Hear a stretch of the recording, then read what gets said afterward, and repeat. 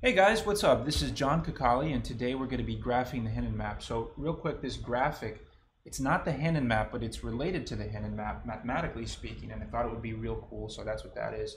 Uh, a little bit about myself. I'm a senior, major mechanical engineering, and I'm a little different than your average student. I'm 36 years old, and I live in New York City, and I'm taking these classes remotely, and I'm actually returning to school.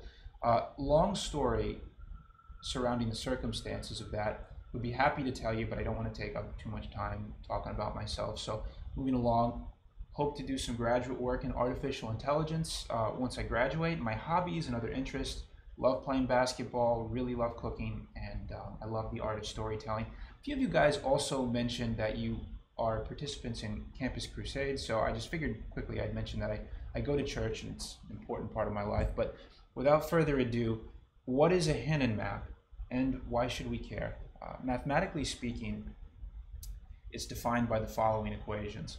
There's something to point out here. Uh, alpha and beta are constants that define the stretching and the thickness of the map. And you also have these n terms, which are important because that means it's a step function. So that's very important in terms of the method we're going to use to, to actually graph and solve these equations. Uh, we're going to graph a special case of the Henon map where alpha is 1.4 and beta is 0.3, and that's called the Henon attractor, which exhibits some really interesting behavior. So why is the Henon map so important? It's one of the few two-dimensional plots that actually exhibits chaotic behavior. My understanding is that most 2D plots don't, but this is one that does. And so why that is important is because two dimensions are way easier to analyze than three dimensions. So this is a really great mathematical model if you want to study deterministic chaos.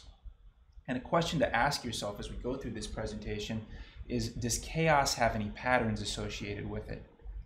Additional reading, great article about the Henon map. I'll post that on my on the forum. So how do we graph it?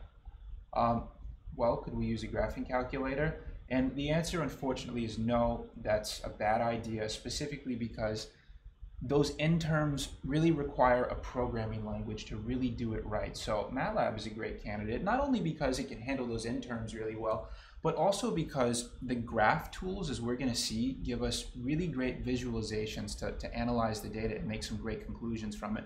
So we have our equations here, and let's go ahead and set our initial conditions where n equals 1.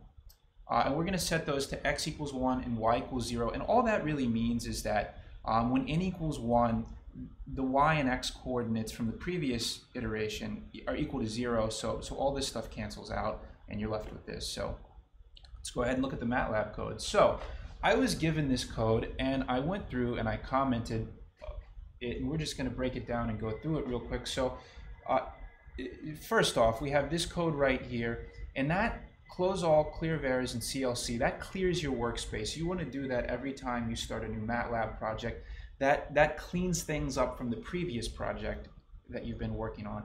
Uh, moving along, we're going to initialize, we're going to create two variables x and y, and we're going to initialize them with this nan function. That stands for not a number. And what that does is that creates an array that we define here, uh, 100 by 1, and that sets all the values to a value called not a number. So that way we don't have the variables pointing to some leftover data. Another really great thing to do anytime you create a variable. So here we're going to go ahead and define our initial conditions that we spoke about. We're going to define our alpha and beta constants.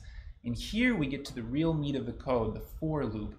Now, you have your equations for the x and y coordinates here, and that is the exact same thing as, as here. This is just in computer code format. And what we're doing with this for loop is we're creating this variable ind1, and all this means right here, the 2 colon 100, is that we're going to start with that variable equal at two, to 2, and we're going to move it to, we're going to loop and add 1 to it every loop until we get to 100. Now we're going from 2 to 100 because we already have the 1 defined. So, and here you can see we use that IND1 to access the array right here in these numbers.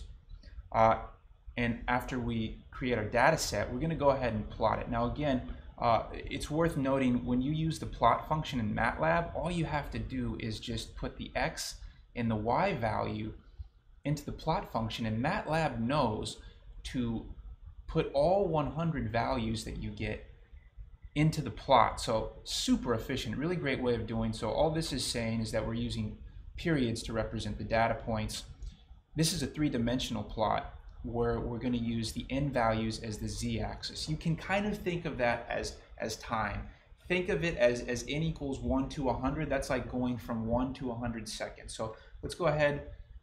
Oh, and down here, we're just going to run it for a thousand values instead of 100. Otherwise, it's the exact same code. So let's go ahead and run this stuff and see what we get. So we have a couple graphs. So these are the graphs where we use 100 data points. And as you can see, the points are very chaotic. It, it doesn't really show us a whole lot. But when we go down to, this is the graph with a thousand data points. And you can see we're starting to get uh, let's go ahead and max this out. We're starting to get more definition. So even though the points are chaotic, uh, they begin to form this pattern of stretching and folding around this point right here.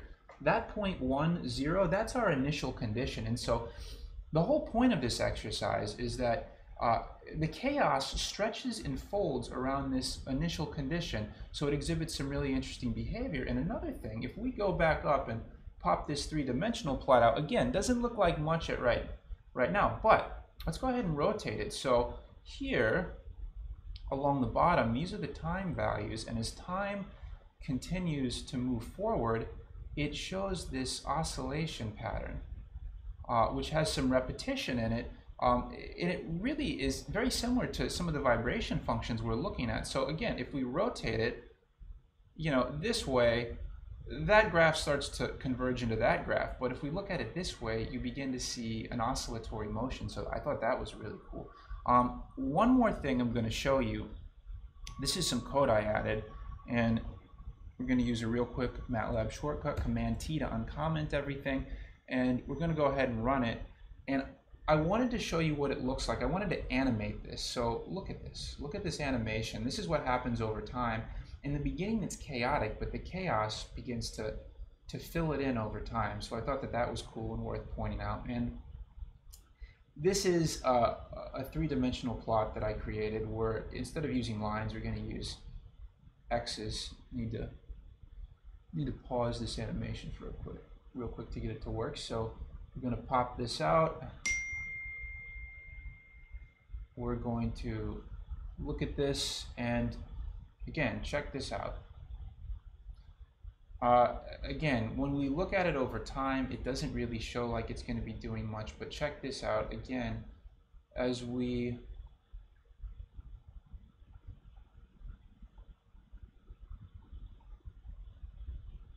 see how that converges into that and that's really what it's doing in three dimensions so I thought that that was really cool too so that's the analysis of the graphs. And uh, what can we infer from this?